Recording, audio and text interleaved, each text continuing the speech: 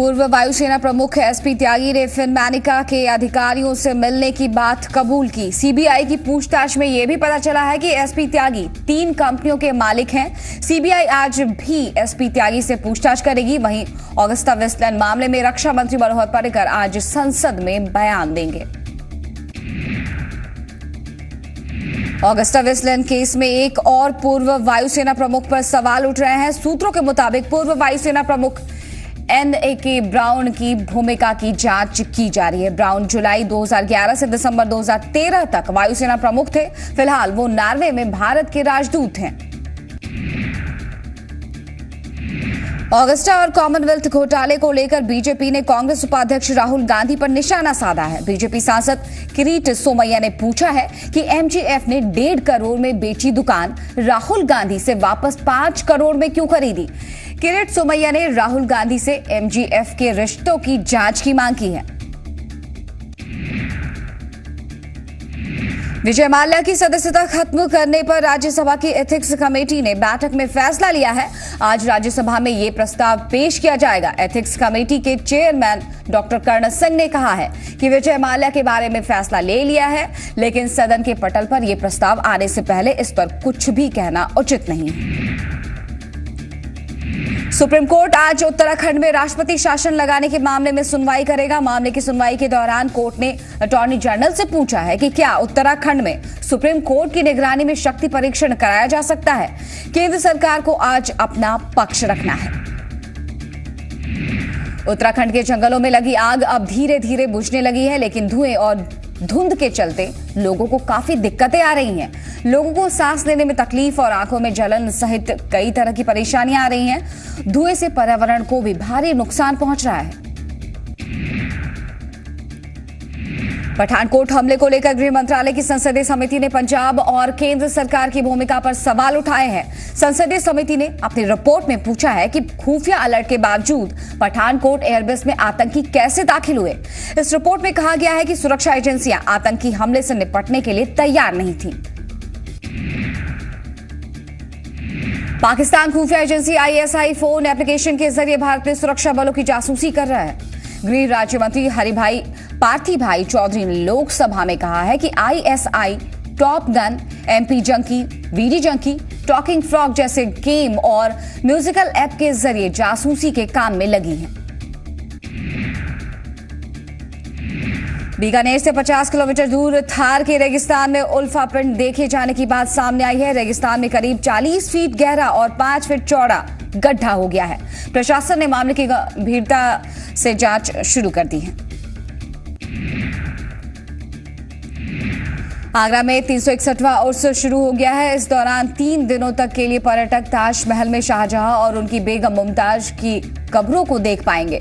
खास बात यह है कि उर्स के मौके पर ताजमहल में सैलानियों की एंट्री फ्री रहेगी। इस दौरान ताजमहल में कई कार्यक्रम भी होंगे। राष्ट्रपति प्रणब मुखर्जी ने दिल्ली के विज्ञान भवन में तिरसठवें राष्ट्रीय फ़िल्म पुरस्कार प्रदान किया। अमिताभ बच्चन को फ़िल्म पीकू के लिए बेस्ट एक्टर का खिताब मिला। वहीं एक्ट्रेस कंगना रनौत को फ़िल्म तनु वेड रिटर्न्स के लिए सर्वश्रेष्ठ अभिनेत्री का अवार्ड मिला। ये उनका तीसरा राष्ट्रीय पुरस्कार है। इसके पहले उन्हें साल 2008 में फ़ैशन के लिए सर्वश्रेष्ठ सहायक अभिनेत्री और साल 2015 में फ़िल्म क्वीन के लिए सर्वश्रेष्ठ पुरस्कार मिल चुका है। बेस्ट फीचर फ़िल्म के लिए बाहुबली तो बेस्ट डायरेक्टर की कैटेगरी में फ़िल्म बाजीराव मस्तानी के लिए संजय लीला भंसाली को अवार्ड मिला। बेस्ट पॉपुलर एंटरटेनमेंट फ़िल्म का पुरस्कार बजरंगी भाईजान को मिला। वहीं मोनाली ठाकुर को मोह मोह के धागे गाने के लिए बेस्ट फीमेल प्लेबैक सिंगर का अवार्ड मिला। एफ़ सिक्सटीन विमान का सौदा ना होने से बौखलाए पाकिस्तान ने अमेरिका को गीदड़ भभकी दी है। पाकिस्तान के सुरक्षा मामलों के सलाहकार सरताज अज़ीज़ ने कहा है कि अगर अमेरिका ने एफ़ सिक्सटीन लड़ाकू विमान खरीदने के लिए पैसे नहीं दिए तो वो कहीं और विमान खरीद लेंगे।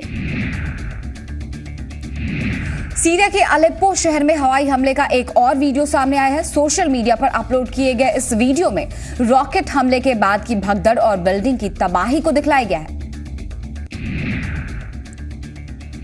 ओलंपिक टॉर्च मंगलवार को स्विट्जरलैंड से ब्राज़ील की राजधानी रियो डी जेनेरियो लाई गई। यहाँ अगस्त के महीने में ओलंपिक खेला जाएगा, जिसके लिए ज़ोर शोर से तैयारियाँ शुरू कर दी गई।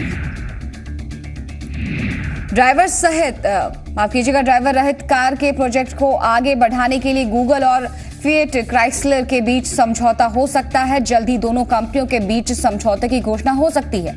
गूगल काफ़ी अरसे से अपने इस प्रोजेक्ट पर काम कर रहा है।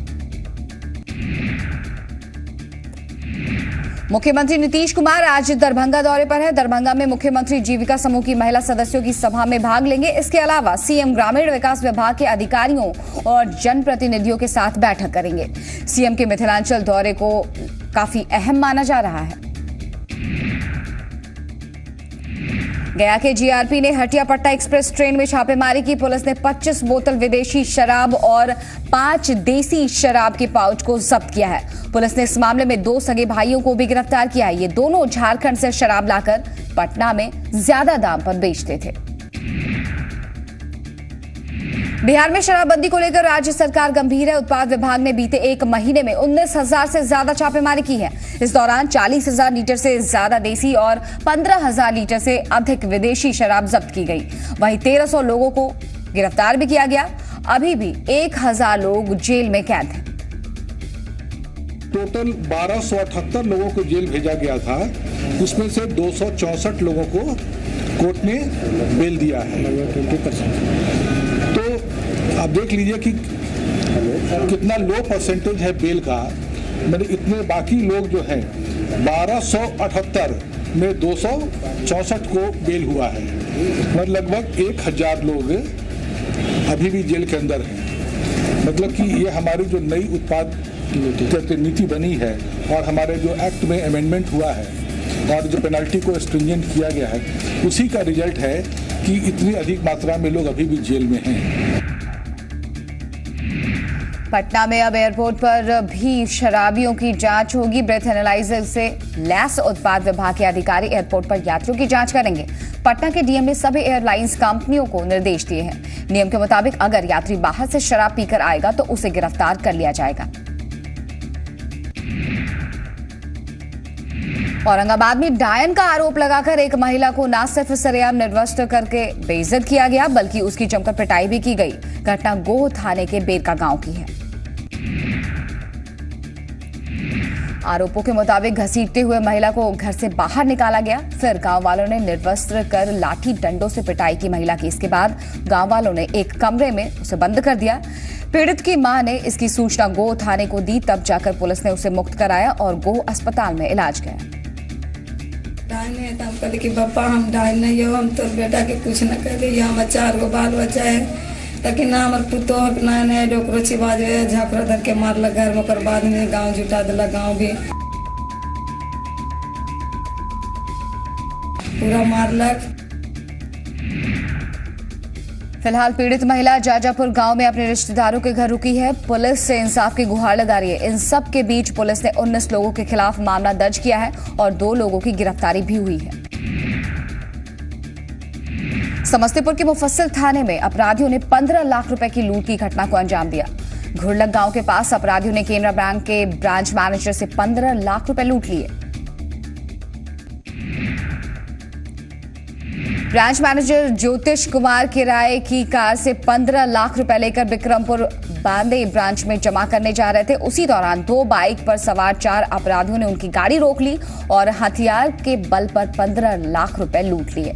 पुलिस ने इस मामले को में कार ड्राइवर समेत तीन लोगों को हिरासत में लिया। प्राइवेट स्कूलों की मनमानी को बढ़ावा देने के खिलाफ युवा आरएलएसपी ने पटना के इनकम टैक्स गोलंबर के पास प्रदर्शन किया। इस दौरान कार्यकर्ताओं और पुलिस के बीच धक्का मुक्की भी की।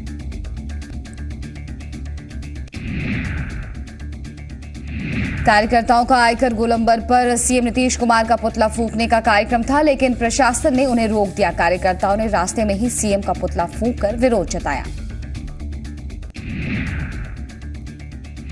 पटना आर्ट कॉलेज के छात्रों ने प्रिंसिपल के खिलाफ मुहिम छेड़ दी है। छात्रों ने कॉलेज कैंपस में प्रिंसिपल के खिलाफ पोस्टर बनाकर अपना विरोध जताया। छात्रों का आरोप है कि ठेकेदारों से मिलकर प्रिंसिपल छात्रों के जीवन के साथ खिलवाड़ कर रहे हैं।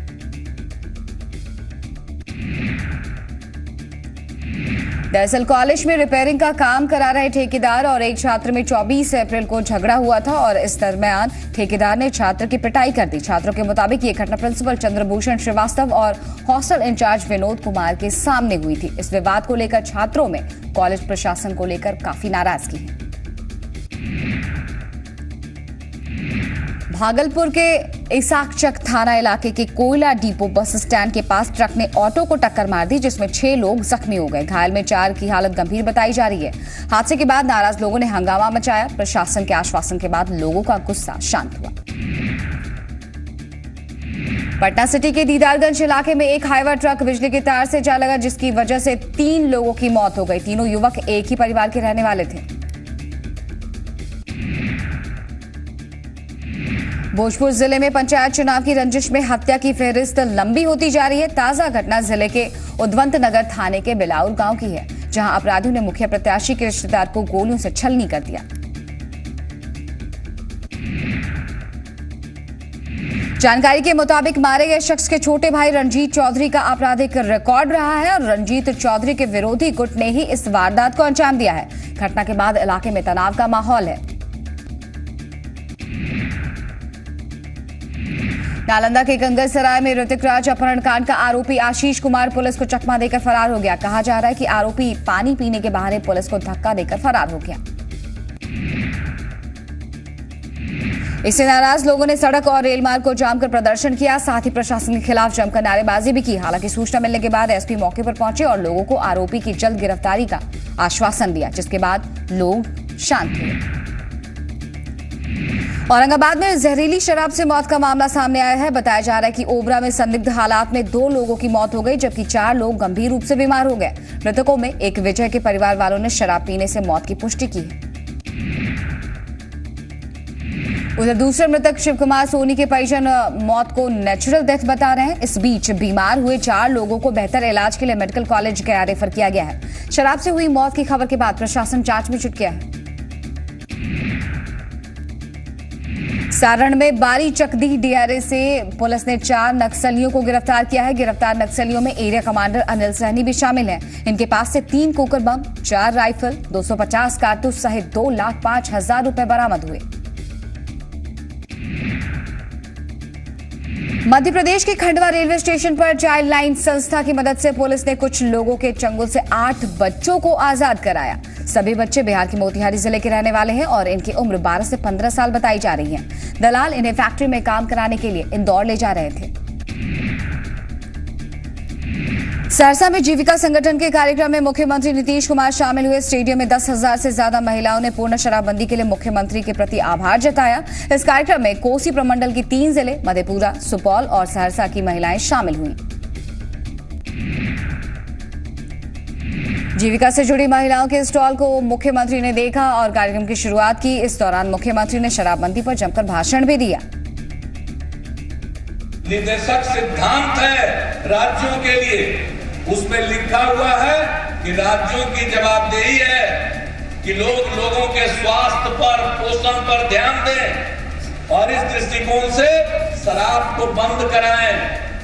ये हमारे संविधान में लिखा हुआ है कि राज्य की जिम्मेवारी है कि शराब को बंद करें। इस बात बहुत लोग अदालत तक गए माननीय सर्वोच्च न्यायालय ने भी कह दिया कि शराब पीना मौलिक अधिकार नहीं है और न शराब का व्यापार करना मौलिक अधिकार है। मुख्यमंत्री नीतीश कुमार ने कहा है कि शराबबंदी एक बहुत बड़ा फैसला है। इस फैसले ने एक बड़ा सामाजिक परिवर्तन किया है। शराबबंदी एक साधारण फैसला नहीं है। एक साधारण सरकारी फैसला नहीं है। यह निर्णय ऐसा है कि आपके सहयोग से यह बहुत बड़ा जन आंदोलन बन गया है और इसने सामाजिक परिवर्तन की बुनियाद रखी व्यवहार में कितना बड़ा परिवर्तन आ रहा हमने तो बिहार में बहुत कुछ करने की कोशिश की। सड़कें बनी। ये जो हमारा मिथिला का क्षेत्र दो हिस्से में बटा हुआ कोसी के दो तरफ़ उसको जोड़ने के लिए भी हम लोगों ने पहल की। शराबबंदी को लेकर बिहार के मुख्यमंत्री नीतीश कुमार और रघुवर दास के बीच जुबानी हमले पर राजनीति तेज हो गई है। जेडीयू विधायक श्याम रजक ने रघुवर दास के बयान पर कड़ी प्रतिक्रिया के साथ नसीहत भी दी। दे करके अपनी गरिमा को उन्होंने गिराने का काम किया है। और सुशील, और श्री नीतीश कुमार जी में कहीं प्रकार का घमंड गर्व नहीं है। वो जनता के बीच के हैं। घमंड की राजनीति, गर्व की राजनीति नहीं करते हैं। वो करते हैं जनता की राजनीति। वहीं जेडीयू के बयान पर बीजेपी नेता संजय मयूख ने पलटवार किया है। शून्य पर आउट होने वाले लोग झारखंड में हमें चुनौती नहीं दे सकते। झारखंड में हमारी लोकप्रिय सरकार है और शराबबंदी का जिसका गोल्ड मेडल हासिल करना चाहती है जदयू की सरकार, यह तो तयशुदा है। हाथ कंगन को आरसी क्या, पढ़े लिखे को फारसी क्या? स्पेशल पैकेज की मॉनिटरिंग के लिए बिहार विधानसभा की ओर से सभी दलों को मिलाकर बनाई गई विशेष समिति के सभी पदों से बीजेपी ने अपने आप को अलग करने का ऐलान कर दिया है। बीजेपी नेता सुशील मोदी ने इसके पीछे संवैधानिक पहलू का हवाला दिया है। उसकी, उसके क्रियान्वयन और उसके अनुश्रवण, उसकी इम्प्लीमेंटेशन और मॉनिटरिंग करने के लिए सभी प्रमुख दलों के नेताओं को मिलाकर एक विशेष समिति का गठन किया गया है।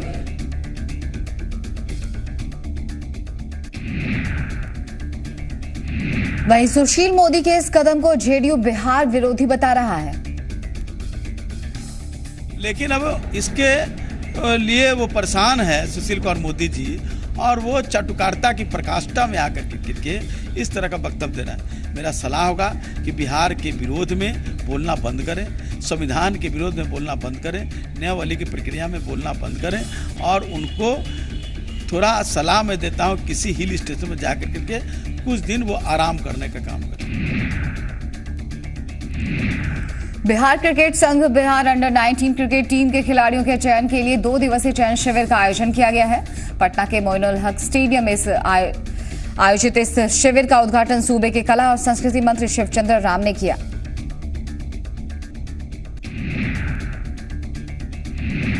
शिविर में बिहार के सभी जिलों से सैकड़ों खिलाड़ी हिस्सा ले रहे हैं, जिसमें से 30 खिलाड़ियों का चयन किया जाएगा, जिन्हें बीसीसीआई प्रशिक्षण दिलाएगी। ये पहला मौका है जब बिहार के उभरते क्रिकेट खिलाड़ियों को बीसीसीआई के कोच ट्रेनिंग देंगे। लातेहार ज़िले के हेरहंज थाना इलाके में पुलिस ने नक्सलियों के तीन बंकर को ध्वस्त कर दिया। ये बंकर सेरेंदांग में घने जंगल में था। बंकर से पुलिस ने हथियारों और विस्फोटकों का जखीरा भी बरामद किया है।